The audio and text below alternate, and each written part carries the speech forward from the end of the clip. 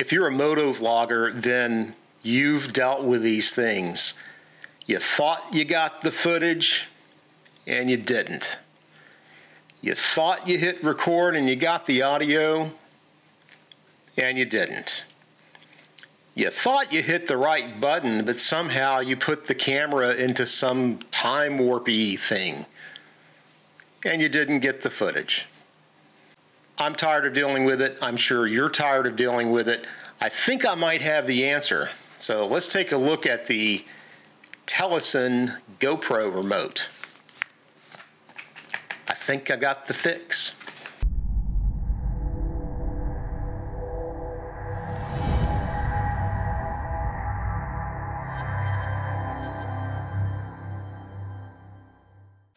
One of the challenges that we deal with as moto vloggers is that we ride around on our motorcycles with the GoPro stuck to the front of our helmet.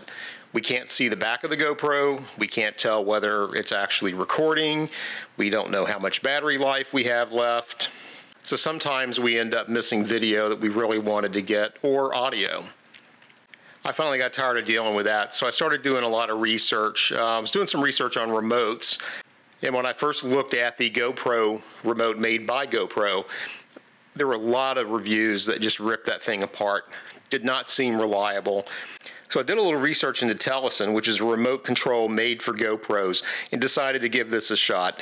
It's very reasonable. It's not a lot of money. I figure it'll work, or if it doesn't work, I can always send it back. So let's take a look at this. In the box, we have the remote, which is uh, pretty cool, small. We have instructions. And then we also, in this accessory box, should have a charging cable.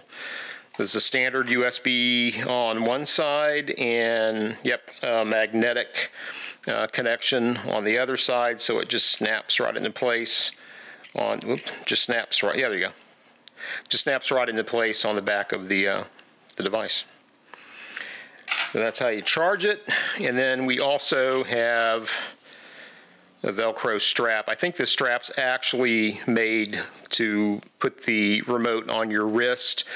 I want to mount this on my handlebars. We'll try to use this for that. And if this won't work, I've got plenty of Velcro down in the garage. So let's take a look at the remote.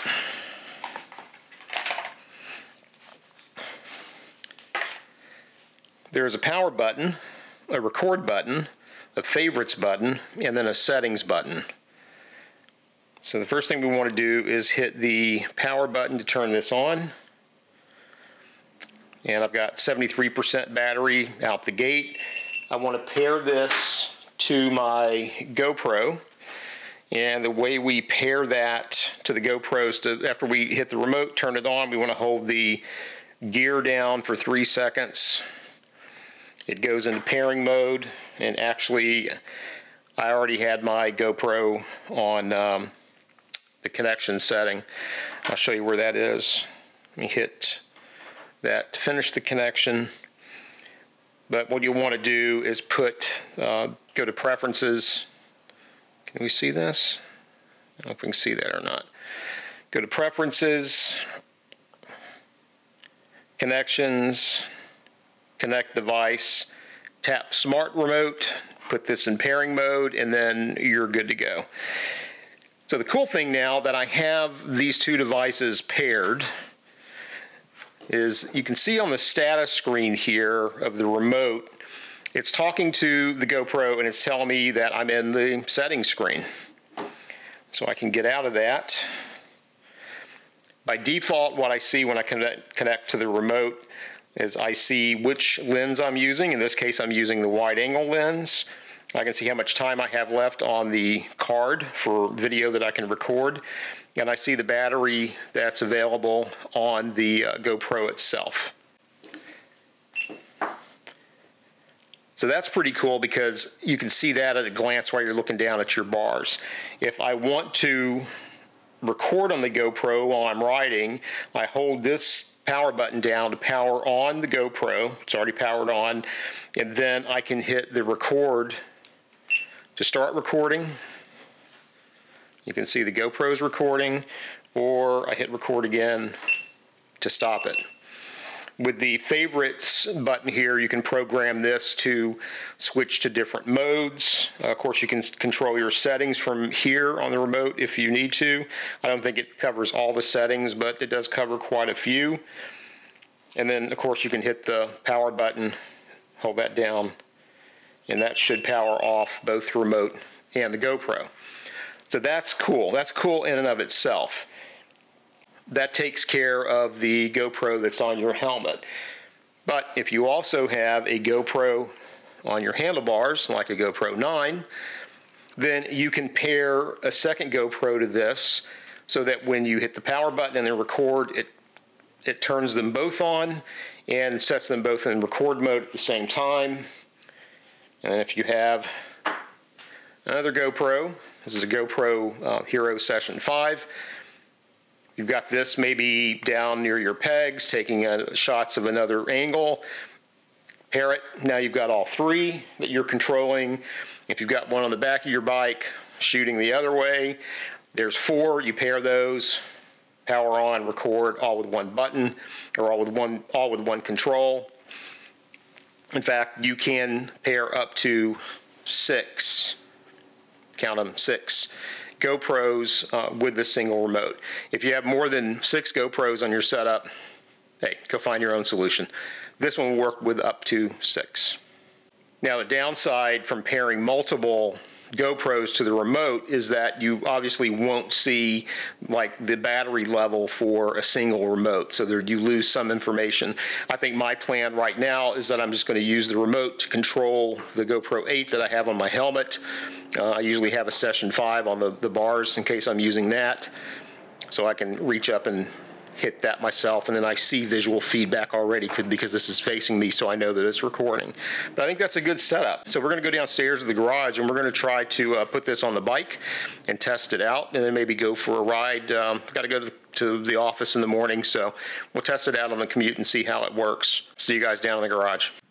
On the back of the remote, you'll see that you have these slots on both sides of the uh, the device, and what you want to do is take the Velcro and kind of weave it through. Like I said, I think the original strap that they ship with it is actually intended to uh, go around your wrist or something. That strap ended up being too long, so I ended up doing a temporary fix just to get out, ride, and test the remote out with uh, a Velcro piece that I have for uh, cable ties. But that's you know that'll that'll work for testing it on a ride, but as you can see, it's a little loose. That's not going to be my permanent mounting solution. I'll have to figure that one out. So tomorrow morning, we'll hop on the bike, head to the office, and do a little test to see how this works. Fingers crossed. All right, so we're uh, we're on the bike, obviously.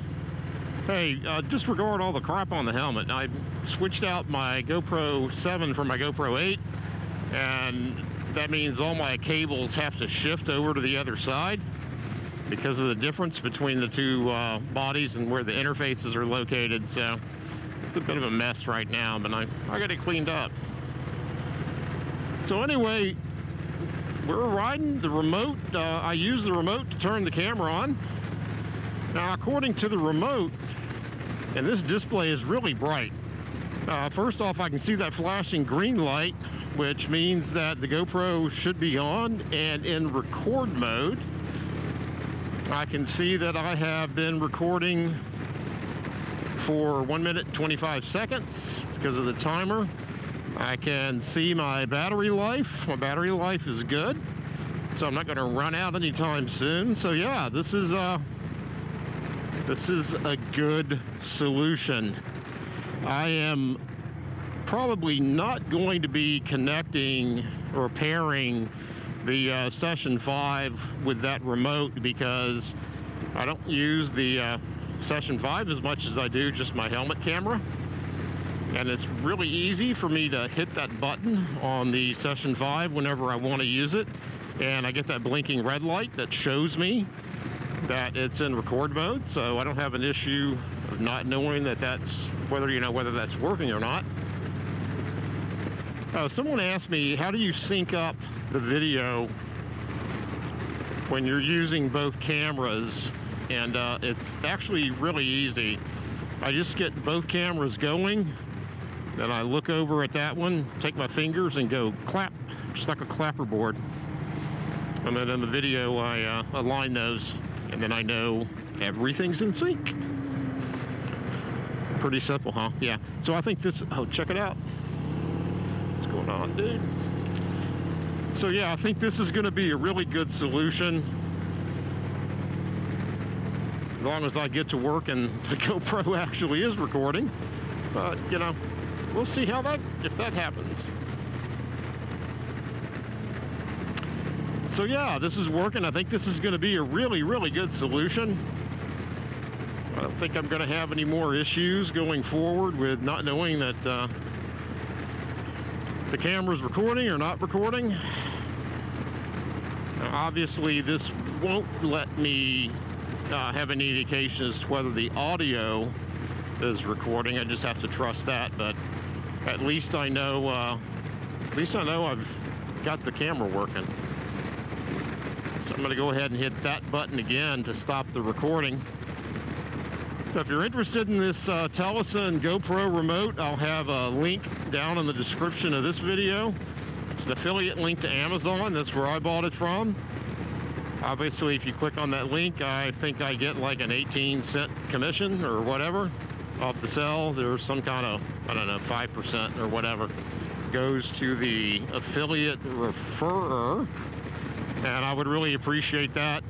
We just finally started making money on the YouTube channel last month, and uh, yeah, guys, don't rush to get to a thousand thinking you're gonna get rich because it ain't gonna happen.